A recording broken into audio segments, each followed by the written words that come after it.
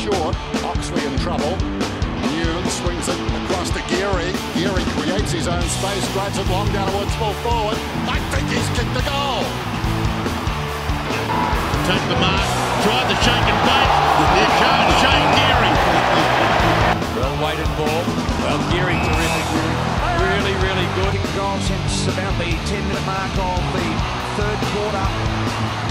And they uh, look likely to kick one here at the moment. Geary to Koschitzke. Big pack once again. Who's at the back? How easy is Jarryn Geary going to do that? Goes towards Gleeson, who goes longer to hands, but he's outmarked by Geary. Graham does well. Out it comes Dylan Buckley. Buckley looking, dropping, gone. Okay, former teammate of yours, BT. Job. The interception here by Geary. Geary can get them within a point, and he does. Charlie Cameron. Oh, he put it down, Charlie. Sends it wide, one on one, and Geary too good for Fantasia. And now the Saints are getting players everywhere around Riewoldt. First there was Geary.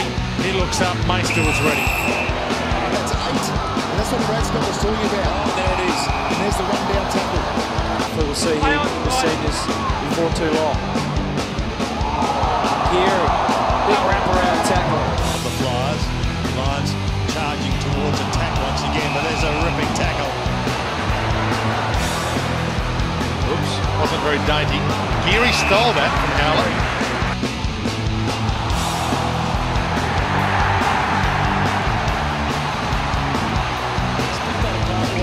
Centered it for Geary, who gives it plenty. He's given it some dash off halfback, and now he's given them a goal. Back it comes to Geary.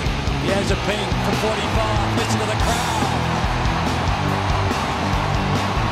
20 minutes before anyone else out on the ground does them all. Here's Geary again. Back-to-back goals. Yes, sir!